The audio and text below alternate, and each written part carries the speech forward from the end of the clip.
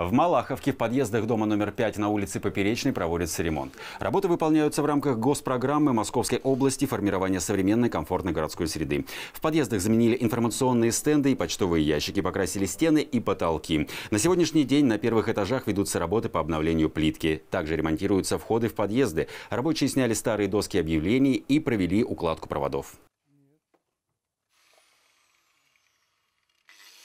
У нас в планах на этот год 230 подъездов. И мы планируем все подъезды завершить к 1 августа. Ставим все на контроль. В ежедневном режиме будем отслеживать. Люди есть, деньги есть. Э, Поэтому есть задача э, просто с этими объемами справиться. Я думаю, что мы э, все эти задачи перед собой, которые мы поставили, мы их выполним.